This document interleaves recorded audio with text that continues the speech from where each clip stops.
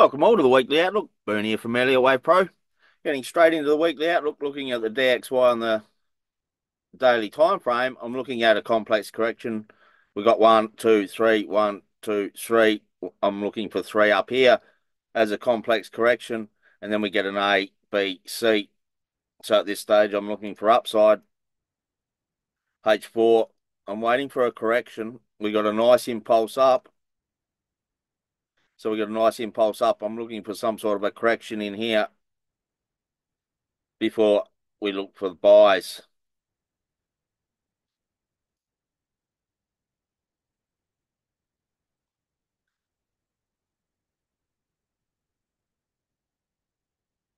AU on the daily, it's the same. I'm looking for a triple three complex correction. One, two, three, one, two, three, and three possible three down here before we get that larger A, B, C. So I'm looking for a little bit of downside. This one is a little bit trickier though. On the H4, we do have a possible bull hidden here. I'm not really looking at it. Well, you can't trade it to break the top, but um, it's more on the lower time frame on the H1. I'm looking for at least three down in here. We got a nice impulse down looking for a correction in here, possibly back to the 50 fib, and looking for an A, B, C. So I'm waiting for this correction, and then I can look for the sell. They're all very similar. GU, looking at this A, B, a C down in here to finish off this B wave before we look for this A, B, C. like AU, this one has a bull hidden, a possible bull hidden on the H4. But um, yeah, I'm not really liking this one because we're already starting to get um, bullish divergence in here on the H1. You know, this could be some sort of a flat here. More than likely it will be um, for more downside, but we really need to see a, a decent correction before we start to look for the sell, because like I, I mentioned, we do have bearish divergence, uh, sorry, bullish divergence on this already on the H1 time frame. You can look to buy, but if you are buying, you know, you're buying into a possible correction, so it may be very choppy.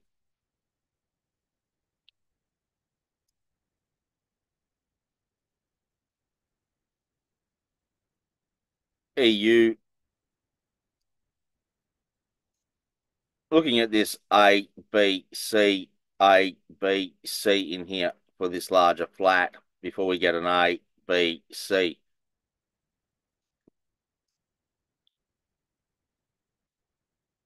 H4, we did get the five up What we were looking for. We got that one, two, three, four, five up. At this wave five did just go and break the ending point of that wave three. Now we got a nice impulse down. So again, like the others, I'm waiting for a correction in here and then I'll look to sell.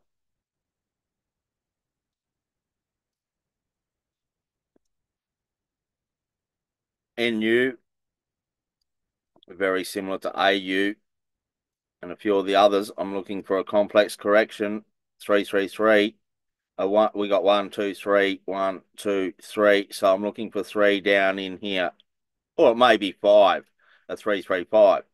But either way, uh, I'm looking for downside at this stage. But like the others, you you have to wait for this correction. We got the five up and a nice impulse down. So just waiting for this correction, and then we can look for the sell.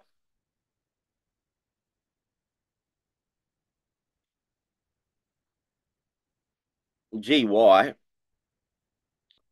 looking for three down here, or but I'm not convinced this correction is over here yet.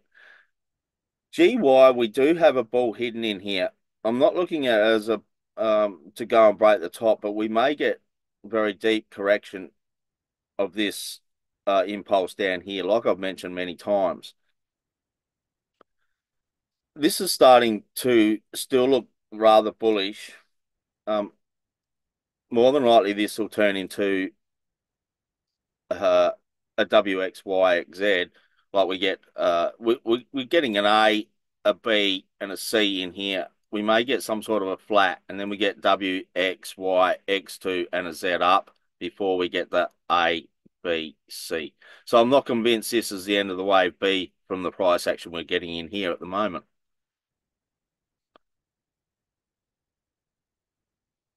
If anything, I'd be looking for the sell into uh you know wherever this ends, looking for a, a nice impulse down and a correction to sell into a C wave for this A, B, C. And then I'd be looking for a buy again, like I showed on the uh, H4. So, um, like I wouldn't be looking to buy, uh, uh, very risky to buy. I mean, we can see how choppy this is. You know, it's very choppy, so I'm looking at it as a B wave at this stage to possibly go and break that top. Then we get a C down, running or expanding flat before we get a larger C up. UY on the daily. I'm looking for downside. I'm looking at a little flat in here on the H4. We were looking for this C up. We've got the C up. It, it's it has actually broken broken the ending point of this wave A here. So we're getting an expanding flat. I'm looking at it as an expanding flat, and we get one, two, three, expanding flat before we get A, B, C. So again, I'm really only looking for downside, um, but it's not giving any setups for the downside at this stage. Um, we're getting all that bearish divergence, but we're just not getting that nice impulse down. I was thinking it may give us a, a downside from there. Um, and that was the end of the wave C. Uh, but you know that went straight up and broke the top, so you know um, we're getting all that bearish divergence. So I'm only looking for a sell, but uh, like I mentioned, there is no sell set up at at at this stage. I'd be waiting for this to end, get a nice impulse down, a bearish correction, and then I could look for at least three down. And ideally, it goes and breaks the uh, ending point of that wave B for the wave C down on the daily.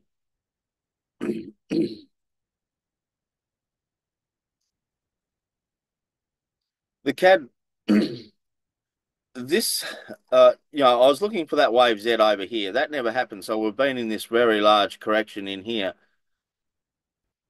Going back to the last section, you know, we, we got the five up in here we got that like one, two, three, four, five up. And then we got this nice impulse down. So we're looking for a correction and another for a sell to go and break this low. Well, it done that. And now it's shot up. Um, I thought this like C wave in here would have went a lot further. It never did. It just broke this uh, ending point of wave A and it, it shot up. It's it's a buy. You can only buy this you'd, you'd be looking at the H1 here as some sort of a flat in here, and you get like one, two, three. You got to wait for that wave four, and then you could trade that wave five up. Um, again, there's not, there's really nothing on it at this stage. Um, I'd like to see like a a, a bull hidden in here, um, in this wave four, and then you know a bullish setup to buy for that wave five.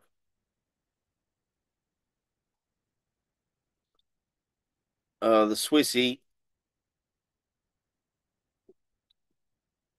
not really liking this. Uh, this is very difficult. If you've been following me for a while, we're in sideways here for uh, weeks and weeks. In here, it did start to shoot up, but this may be some sort of an A, B, C in here, a flat before we get you know more downside for a, a, three down in here, and then you get an A, B, C as a running or expanding flat before we get more downside.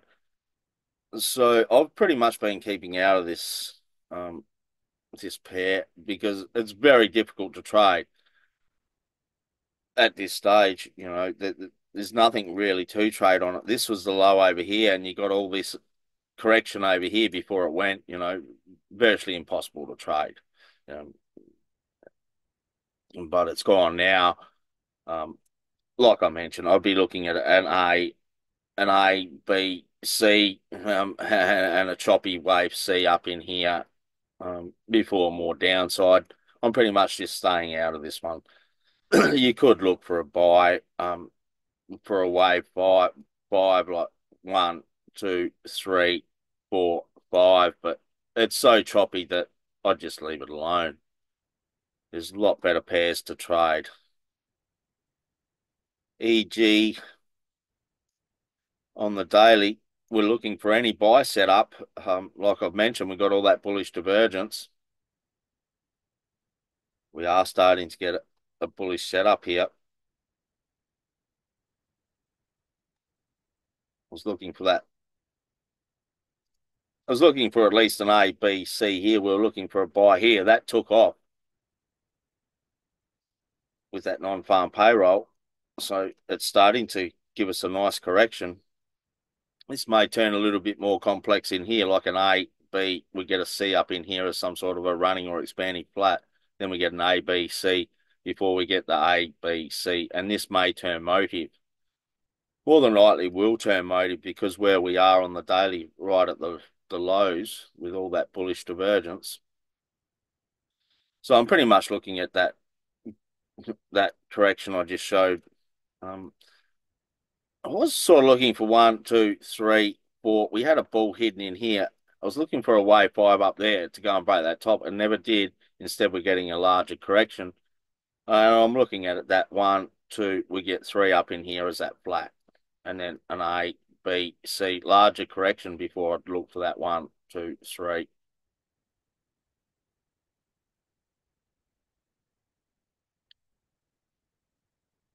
WTI, well, I've had this these lines on here for quite some time. So this is a correction I'm looking at, a possible correction. This has been very difficult to trade too. Uh, you know, because we got some sort of a very large correction in there, um, and it was very deep to this wave A or wave one. We got one, two, three.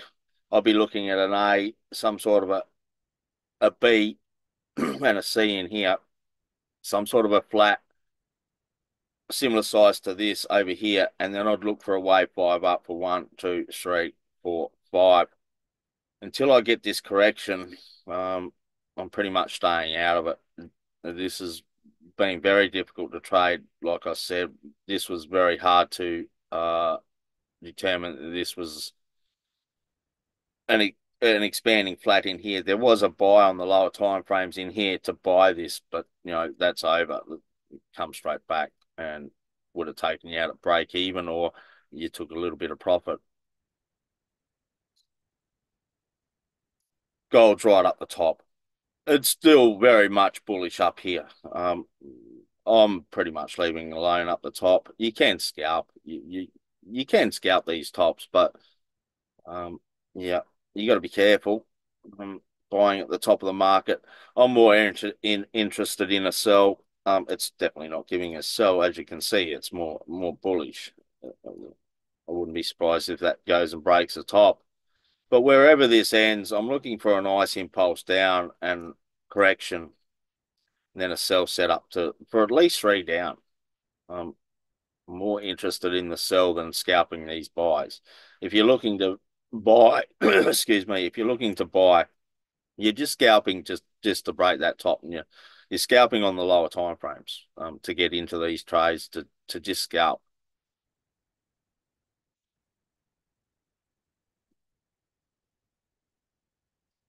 Silver has given us that wave Z up, what we are looking for uh, has broken the ending point of that wave Y. This like WX Y. We're looking for that X2 and a Z up. We got the Z up. It hadn't got to our targets, but it has broken the ending point of that wave Y.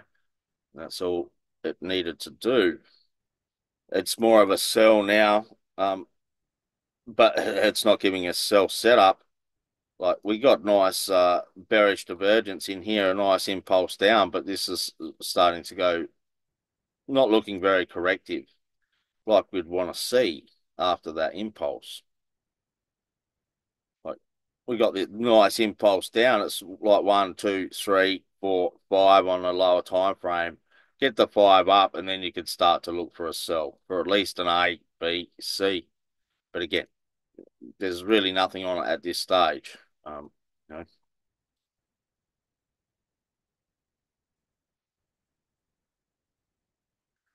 Bitcoin, very much bullish.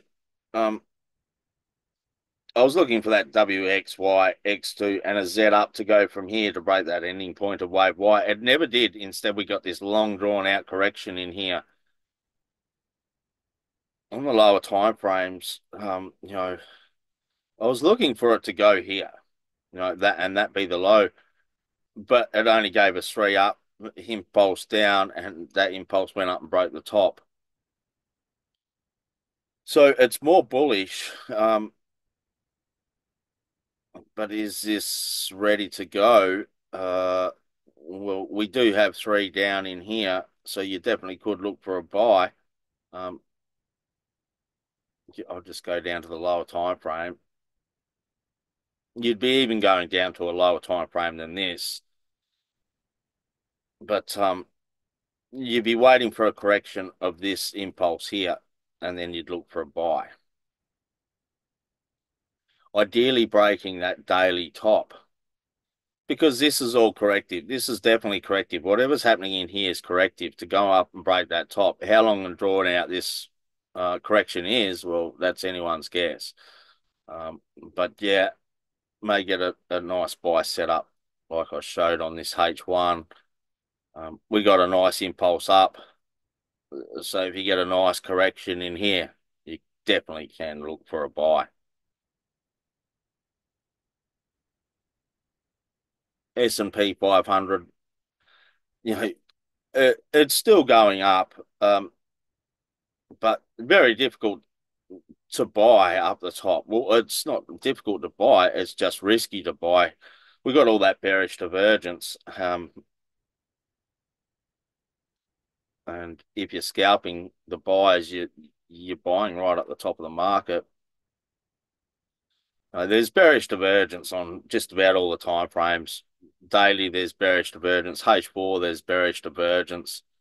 H1 there's bearish divergence. So, you know, I'd be more interested in, you know, waiting for a nice impulse down, a correction, and looking for a sell.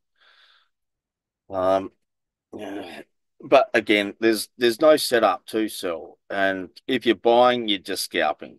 You know,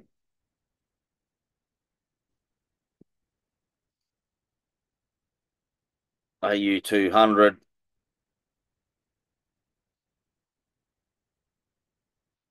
This looks like a flat here. Larger flat. If I just zoom out. Uh, overall, I am looking for... Like over here, we got five down.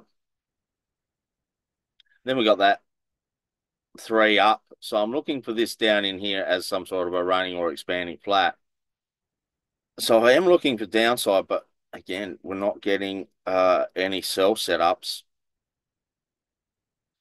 It's looking very choppy up here. I wouldn't be buying. You know, I definitely wouldn't be buying. It's like uh, S&P 500. We're getting divergence on all the time frames. We're getting bearish divergence on all the time frames.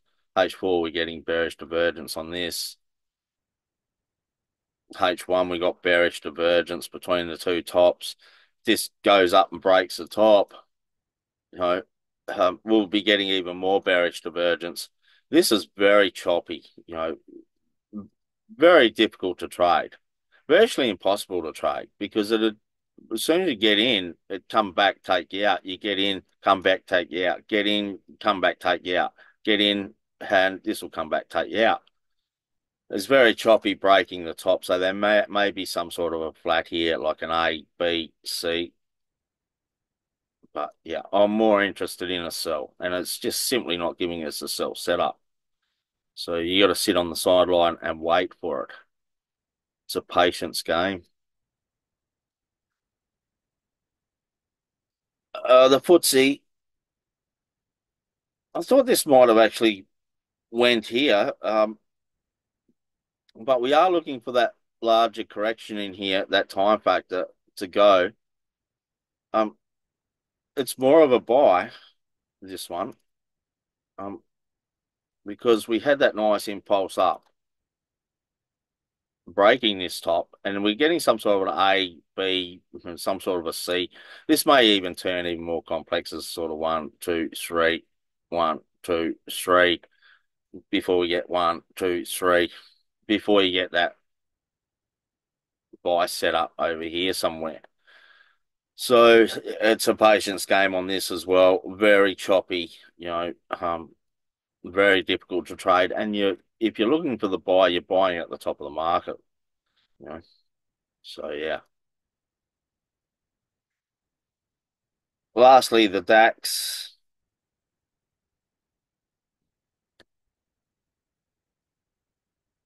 So looks like we're getting some sort. Well, you know, we got a nice impulse up. Not really looking at that as all the correction, but we did get a correction there for three up. Maybe some sort of a flat in here for an A, B, C. But again, you know, you're buying right at the top of the market. Um, so you got to be very careful. You're really just scalping on the lower time frames. Um, please. There was that uh, bull hidden in here that I mentioned, you know, for this to go up and break the top. Um, it pretty much played out how I was looking at it last week.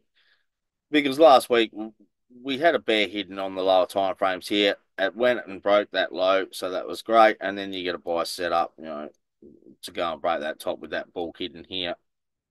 So I wouldn't be surprised if it does go and break the top. But again, you know, you probably missed, you know, if you weren't looking, you probably missed the buy setups. So, you know, I would be leaving it alone and looking for a sell, you know. Um, as soon as this top here is broken, we're going to start getting a lot of bearish divergence. So I'd be more interested in the sell. So I hope you all enjoyed the weekly outlook. If you did, please hit the like button, share, and subscribe. Enjoy your weekend, and I'll see you out there next week.